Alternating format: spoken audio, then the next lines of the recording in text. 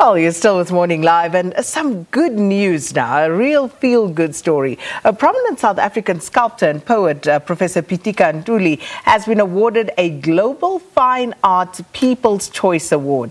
Now, Professor Ntuli's uh, Azibuyele Emasisweni, uh, or Return to the Source, is an online exhibition of bone sculptures, and it won the U2 Award, which is one of two People's Choice Awards at the 7th Annual Global Fine Arts Awards. Now, there were 116 nominees, which included exhibitions from some of the most established art galleries and museums across the world. So, uh, let's speak to uh, Professor Ntuli about this award. Professor, good morning. Good to see you. Welcome to Morning Live and congratulations. Thank you very much, and also to the uh, listeners. But before anything else, I would like to thank uh, uh, Rusike, the uh, curator from uh, Melrose Gallery, the gallery, the 33 people who collaborated with me. You know, Jonathan and Busiso, my technical assistants, are part and parcel of the success of what we have achieved. So if, if, if, if, we look at this work of art, and, and, and I mean, it's obviously fabulous to be recognized uh, by not only your peers, by the public at large. Um, how does that feel? Because given how many nominees there were, uh, to just walk off with one of those awards must be a great feeling. It's quite a very, very, very great uh, you know, feeling because uh, it's a result of uh, not just a group of uh, people deciding. It has been uh, people globally voting. In other words, people globally voting are saying, we want art such as this one that is being done uh, to be actually, you know, the norm. And also, I would also like to congratulate the other one of the two you know, people that also uh, won, because the people are suggesting that what we are doing, the art that comes up with feelings, with soul, with spirit, uh, with a deep, you know, kind of a belief systems rather than art for art's sake, is uh, should actually be, you know, the norm. Indeed, and, and, and if we look at um, uh, the artwork, a 45 uh, a bone sculpture exhibition, talk to us about that and, and you know, how was that conceived and conceptualized? You know, what happened is that uh, I began working up on, uh, uh, uh, uh you know, bones, focusing actually on the bones. It started when something happened uh, in Gaza, when the Zionists attacked, you know, Gaza, killing children, bombing schools, and all. I did an installation that is currently at the Constitutional Hill that says lest we uh, uh you know forget. Uh, but from there again, from a very spiritual you know side, also as a sangoma, it is very very important that you have to create bones in order to define the state of the nation, the state of the world, the state of uh, you know the environment. That's precisely what uh, I set up uh, you know to do. And also to say that let us return to the source, Azibuyele Emasisweni, do art not simply as individuals, but because in Africa we collaborate in everything that we are, we are doing. Ubuntu tells us, I am because you are. That's what resulted then in choosing 33 of some of our best uh, you know, thinkers, poets, artists uh, from West Africa, East Africa, America and, and, and ours. That is why I tweeted yesterday that I dedicate this uh, uh, victory uh, to Sbongile in, in Khumalo, mm. who had also contributed very significantly to this uh, exhibition. So, in that sense, uh, in talking about returning to the source, um, looking at the world at the moment uh, dealing with this COVID 19 pandemic. Um, what is the message, uh, especially from a spiritual point of view, uh, do you think that you would like to convey at this point, Professor Ntuli? Uh, is that what we like to convey is that uh, we live in an environment that environment is life sustaining and we are busy uh, killing that which actually sustains uh, uh, you know us And the discussion, then I would encourage people to uh, to go to the link and listen uh, to the Honorable Naledi Pandor, who, opened the exhibition, uh, uh, you know, for us when we were spelling out her, her views of what is, uh, uh, you know, happening. So, in other words, is that is part of the pieces is that the return of the Minkisi. The Minkisi were artworks that were created, you know, in the Congo. They were not just artworks those artworks were filled with medicinal plants, with medicinal, practically everything. They were almost like human beings. They were taken away from us because they felt that we were worshipping them and that they were very dangerous uh, to us. For me, the return of the Minkis is a return of our own art as, you know, medicine to focus us uh, on our thinking. Awunyelwa you don't pollute the river, you don't do this. All our proverbs, you know, tell us, uh, uh, you know, that. So in making up, you know, this art with all the symbols that are all in those bones, we are talking about an African way of life, an African culture, an African belief system that is reflected visually in the works of art, as it has always been throughout the world. You go over to uh, uh, Florence, you go over to the Greeks, art played a very significant uh, role in organizing people to come together in nation building, in addressing the crisis that may be uh, uh, uh affecting people medicinally, diseases, uh, natural disasters. You know, art has always been part and parcel of that which uh, sustains us and gives us hope. Mm. Um, some would say, well, for most of us, art is very abstract if we're looking at who we are and what we're dealing with. How would you then help us to connect uh, for those who may feel that way, um, the, the, the, healing uh, properties that you speak to, uh, you know, the, the, the spiritualism that uh, we are talking about? Because, as a simple example, uh, Professor, you go to our cemeteries today. If it's not a private cemetery or Heroes Acre somewhere, our cemeteries are in the most despicable state of decay and disrepair.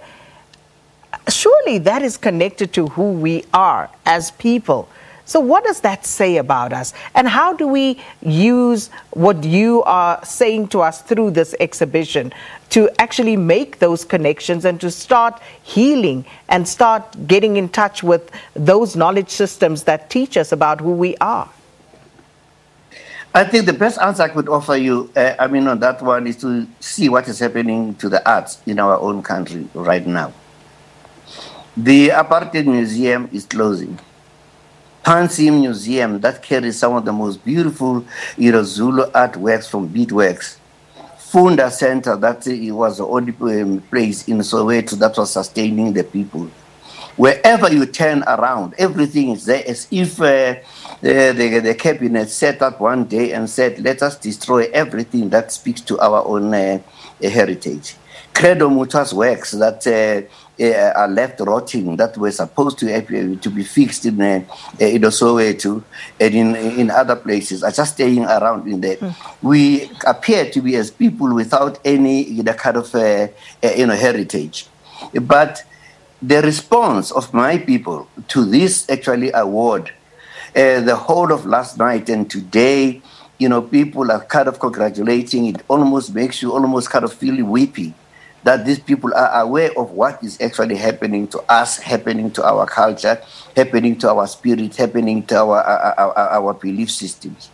If everybody were to be interested uh, Eh, eh, eh, in art in one way or another, visiting it, practicing it, you know, trying it with it, then we would actually not be talking mostly in South Africa about corruption, state capture, you know, everything, because our minds had been captured. And art seeks to free these minds, you know, from us. And also, besides, we shouldn't forget that we are where we are, not because APLA or Umkhonto we Sizwe or AZANLA uh, liberated us. They contributed but it was the artists that helped to liberate this country, international artists, through anti-apartheid movement, the music of the Tracy Allen Chapmans, the artworks of, uh, uh, uh you know, uh, uh, you, you, know, or Gumbe, Eugene Skiff, uh, paintings, and everything that we have been putting up onto the world helped to isolate, uh, you know, South Africa, you know, from it. Uh, but as a result, now we are the people who used art to liberate ourselves, and now we are the people who, more than anybody else in Africa, seem to be suppressing, uh, uh, you know, art. Ghana is coming up with its own national museum. Senegal is already built up its national museum. We are closing uh, uh, out. We are not part of uh, Africa to a large extent. We have just become the 54th state of the United States of America, when one looks at how we are governed and what's happening around us and what are the attitudes towards that which is very meaningful and spiritual in our land. Oh, that, that, that's quite deep, Prof. And, uh, you know, uh, uh, when we look at this um, exhibition and, and, and you talk about returning to the source, and you also mentioned the scourge of corruption, of uh, poverty, of um, greed, and all these uh, issues that we are dealing with, grappling with on a daily basis on the African continent, and specifically here at home in South Africa. When you look at um, the return to the source, the return to African um, spiritualism uh, and knowledge systems, how can that help in addressing the scourge of corruption and other systemic issues that are bedeviling our society?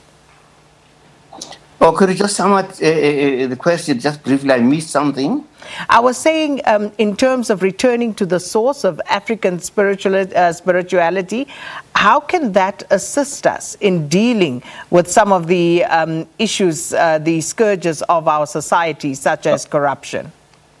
Oh yes, you know, because once we return, you know, to ourselves, who are we, right?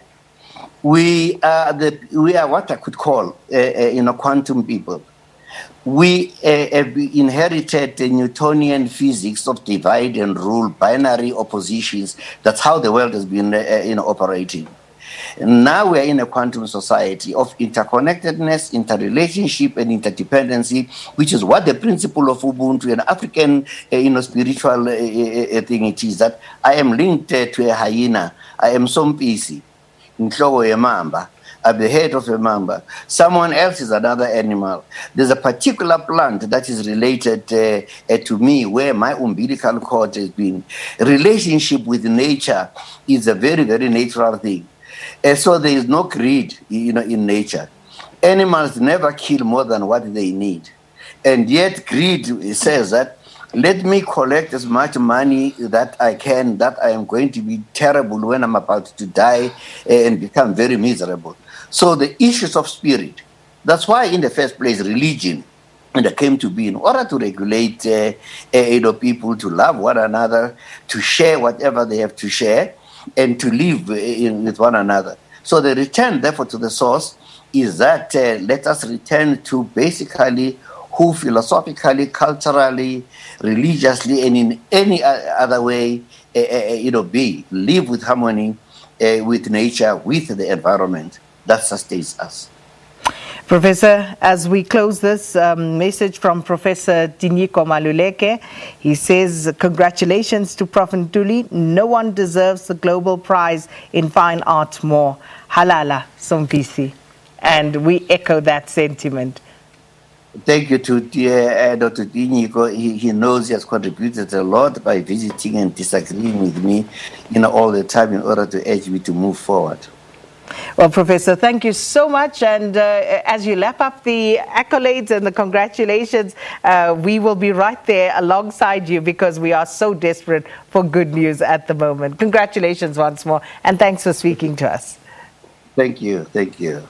And that, of course, uh, Professor Pitika Ntuli, um, prominent South African uh, sculptor and uh, poet, and he's been awarded the Global Fine Art People's Choice Award. How fabulous is that? Unbelievable. We really, like you said at the end of the interview, we desperately need some good news, and I think uh, this is this is one that can boost us a little bit. All right, so.